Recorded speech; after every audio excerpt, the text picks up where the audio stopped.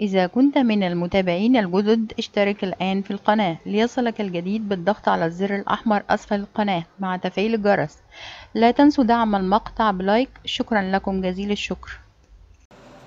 بسم الله الرحمن الرحيم. وبه نستعين وعليه نتوكل. والصلاة والسلام على من بعث رحمة للعالمين وعلى آله وصحبه أجمعين. أما بعد.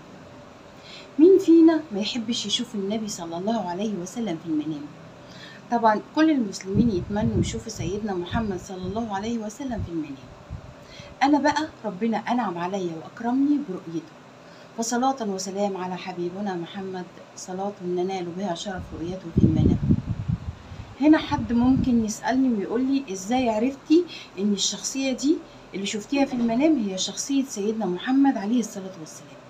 ويا ترى بشرك بيه ده اللي أنا هجاوب عليه في الحلقة دي إن شاء الله. بداية أحب أعرف نفسي للناس اللي ما تعرفنيش أو ما تعرفش قصتي. من البداية الناس اللي بتشوف الفيديو ده لأول مرة أنا أختكم نهى السيد غادة صابر مسيحية سابقة. ربنا أكرمني وأنعم عليا بنعمة الإسلام في فبراير 2019 يعني تقريبا من ثلاث سنين. عن اقتناع تام بالإسلام وبعد دراسة عقلانية اكتشفت فيها إن ربنا ما ينفعش يكون ثلاث آلهة وإنه ما ينفعش ينزل الأرض ويتجسد في صورة إنسان. وأدركت إن الله واحد لا شريك له.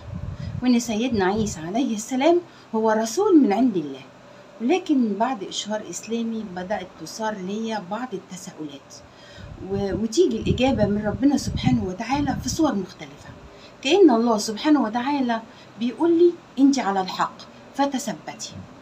فبعد إسلامي بأيام بدأت أفكر في أولادي وإخواتي وأهلي وليه أنا سبتهم وإزاي أنا عملت كده وأسئلة كتير جدا كانت بتدور في عقلي.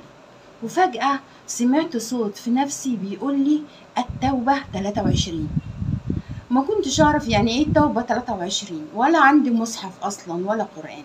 اتصلت بصديقة ليا وقلت لها يعني إيه التوبة 23 فقالت لي ده في سورة في القرآن اسمها سورة التوبة وفي آية 23 ثواني أفتح المصحف أقراها لي بدأت تقرأ الآية اللي بتقول يا أيها الذين آمنوا لا تتخذوا آباءكم وإخوانكم أولياء إن استحبوا الكفر على الإيمان. ومن يتولهم فأولئك هم الظالمون. ظالمون وكأن ربنا سبحانه وتعالى بيقول لي أنت هاجرت لربنا فما ينفعش تلومي نفسك إنك تركت الشرك واهله وبعدها بأيام بدأت أفكر في جنة المسلمين اللي ربنا وعدهم بيها. وهل تختلف عن السماء اللي بيحلم بها النصارى واللي كانوا دايما بيعلموها لنا إن هي عبارة عن مكان واسع وجميل وفيه ملايكة بترنم وخلاص ومفيش أي وصف مفصل ليها؟ دي كانت أسئلة بتدور في ذهني. ومن شدة تفكيري في الموضوع ده شفت رؤية اني في مكان كبير فيه خضرة زاهية وشمس مالية الدنيا لكن درجة حرارتها منخفضة مش عالية. وكنت لابسة ثوب أبيض حرير طويل فضفاض بيجر.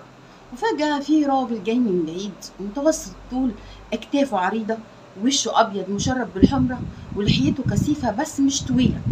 وعينه واسعة ورموشه زي ما يكون بالظبط حاطط كحل. كف إيده كان كبير ولابس عمامة أبيض في أخضر وجلابية بيضة فضفاضة ولقيته اتقدم ناحيتي ومد إيده اليمين على أطراف صوابع إيدي. ومشينا مسافة مش كبيرة. وكان قدامنا قصر باب صغير فيه عتبتين عتبة بدرجتين درجة والتانية. طلع أول درجة ومد إيده إيده طالت الباب وفتح الباب بإيده الشمال وإيده اليمين طلعني الدرجتين دول. دخلت القصر وقفل عليا وخلاص الرؤية خلصت على كده.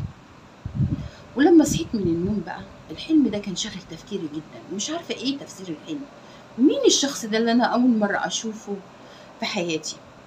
ولا إيه المكان الجميل والقصر اللي طوبة فضة وطوبة ذهب اتصلت طبعا بالأخ أحمد سليمان صاحب قناة كاشف الشبهات لأني عارفة إن الأخ أحمد كان درس في الأزهر وهو أكيد هيكون عنده تفسير للحلم ده. أول حاجة سألني عن أوصاف الشخص اللي أنا شفته في الحلم. أنا وصفت له ال- الأوصاف اللي أنا شفتها في الحلم. فقال لي ما شاء الله يا أخت نهى دي أوصاف سيدنا محمد صلى الله عليه وسلم. الأوصاف دي هي اللي وردت في السنة. وفهمني إن ده شرف كبير إن حد يشوف النبي عليه الصلاة والسلام في المنام. ودي طبعا بشرى عظيمة وتثبيت من ربنا سبحانه وتعالى ليا على دين الإسلام. وقال لي إن الرسول عليه الصلاة والسلام قال من رآني في المنام فقد رآني. فإن الشيطان لا يتمثل في صورتي. ودي كانت أول مرة أشوف فيها سيدنا محمد صلى الله عليه وسلم في المنام وبعد كده بدأت الحرب عليا من أهلي ومن الكنيسة علشان يرجعوني للنصرانية. في خلال من خلال طبعا تشويه صورتي بقى ووسائل الإعلام واتهام المسلمين باختطافي وإغراءات سواء بالمال أو من المساومة بولادي زي ما شفنا في الفترة اللي فاتت. ولكن رفضت طبعا. وفي نفس الوقت بدأت بدأت وساوس الشيطان طبعا إنها تفكرني بقى بولادي وبناتي وإزاي أنا سبتهم. وبدأت أبكي طبعا بكاء شديد على فراق أبنائي. وفي اللحظة دي ربنا يصبرني ويواسيني ويبشرني بالجنة. وفي الليلة دي كانت رحلتي في الجنة اللي استغرقت تقريبا ساعة. شفت فيها ما لا عين رأت ولا أذن سمعت ولا ولا ما خطر على قلب بشر. شفت النبي محمد صلى الله عليه وسلم ومواصفاته اللي شفتها قبل كده في أول رؤية وهو بيسقيني وبيسقي الناس من إيده على نهر في الجنة. وشفت سيدنا عيسى ابن مريم عليه السلام كان متوسط الطول وشعره طويل كان بيصل تقريبا لكتفه كده. ولون وشه أبيض خمري مايل خمري. ما كانش بنفس الصورة اللي كنا نعرفها بيها لما كنت في النصرانية يعني الصور اللي بتتعلق على الحيطان دي. أول ما شفته على طول عرفت إن هو سيدنا سيدنا عيسى. اعتذرت له طبعا اعتذرت له جدا إني كنت بعبده. هو طبعا قبل اعتذار وشفت ناس كتير من أهل الدنيا أحب أبشرهم كلهم شربوا من إيد النبي صلى الله عليه وسلم.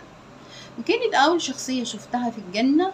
من اللي أعرفهم شخصيا هو الشيخ محمد موسى اللي كان رئيس مكتب الإشهار في الأزهر الشريف واللي نطقت الشها- الشهادة على إيده. فجزاه الله خير الجزاء. وبارك الله فيه وبعد كده شفت الأخ أحمد سبيع فك الله أسره. وشفت كمان آه، الشيخ أبو عمر الباحث صاحب قناة مكافح الشبهات ربنا يكرمه بنفس هيئته اللي بيطلع بيها في الفيديوهات. وشفت أخونا الشيخ زين خير الله صاحب قناة الشيخ زين خير الله.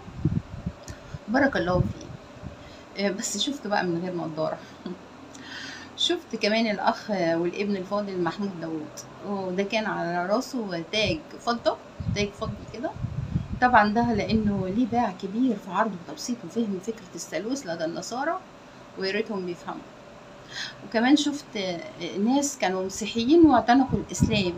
آه، ومن أشهرهم الشيخ يوسف آه، أستس وكمان شفت شيخ المناظرين الشيخ آه، أحمد ديدات والدكتور زاكر. والدكتور وديع أحمد فتحي رحمه الله. كمان شفت الأخت الشهيدة كاميليا شحاتة اللي تم إخفائها في الدير وفي ناس كتير جدا معرفوش وكان الرسول صلى الله عليه وسلم فرحان بينا جدا كمسلمين جدد. المهم كانت الرحلة دي مثيرة جدا وأحداثها كتير. إن شاء الله أنا هشرح آه، الرحلة دي لاحقا بإذن الله. بس أنا اختصرت على قدر الإمكان علشان ما أطولش على حضرتك. ودي كانت تاني مرة أشوف فيها سيدنا محمد صلى الله عليه وسلم علشان ربنا يطمني ويبشرني بالجنة ويقول لي اصبري ولك الجنة ورؤية النبي محمد صلى الله عليه وسلم.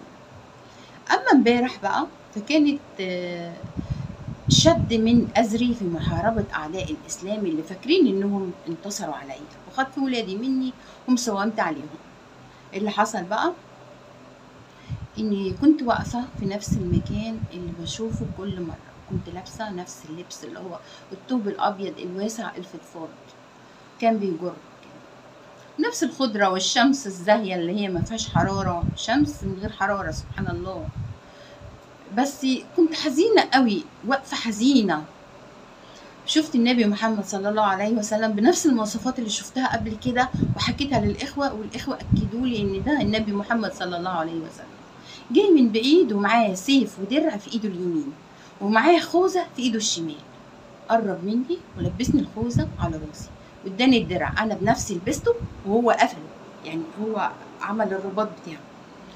وبعدين اداني السيف وعمل لي الإشارة دي. معناها تشددي أظن إن معناها تشددي. ربنا معاكي وبيساعدك وابتسم ابتسامة جميلة. ومشي. والرؤية خلصت على كده. واضح جدا طبعا إن النبي محمد صلى الله عليه وسلم راضي عني جدا لأني بدافع عنه في فيديوهاتي لأني عملت أكتر من فيديو وأكتر من حلقة للرد على الشبهات اللي أثرها أعداء الإسلام على سيدنا محمد صلى الله عليه وسلم.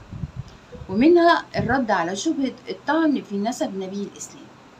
وكمان حلقة كانت بعنوان الرد العقلاني على شبهة موت النبي صلى الله عليه وسلم متأثرا بالشاة المسمومة.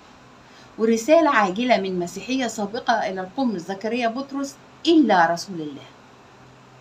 ودي إشارة من ربنا سبحانه وتعالى ليا بيقول لي إثبتي فأنت على الحق وأنا مش هتخلى عنك أبدا. وأنا حبيت أبشر إخواني وأخواتي متابعي القناة على البشرة العظيمة دي. بشكركم جدا طبعا على دعمكم ليا وتواصلكم معايا ودعائكم بظهر الغيب. واعذروني معلش الفترة اللي فاتت على عدم ردي على التعليقات. فجزاكم الله خيرا. وأسأل الله لكم الجنة. ومرافقة سيدنا وحبيبنا محمد صلى الله عليه وسلم. فيوم القيامة نبينا محمد صلى الله عليه وسلم هيستنانا كلنا على الحوض في الجنة. وهنشرب من إيده الشريفة شربة لا نظمأ بعدها أبدا. وفي ناس هتكون عايزة تشرب من إيد النبي بس الملائكة هتمنعهم. فالنبي محمد هيعرفهم من أثر الوضوء وهيقول للملائكة دول من أمتي فالملائكة هتقول له أنت ما تعرفش دول عملوا إيه من بعدك يا رسول الله؟ دول بدلوا سنتك. فيقول سيدنا محمد صلى الله عليه وسلم بعدا بعدا سحقا سحقا. فالناس اللي ما شافوهوش في المنام أكيد هيشوفوه يوم القيامة إن شاء الله تعالى. فاللهم احشرنا تحت لوائه واسقنا من يده الشريفة شربة هنيئة مريئة لا نظمأ بعدها أبدا. يا رب العالمين. والسلام عليكم ورحمة الله. already.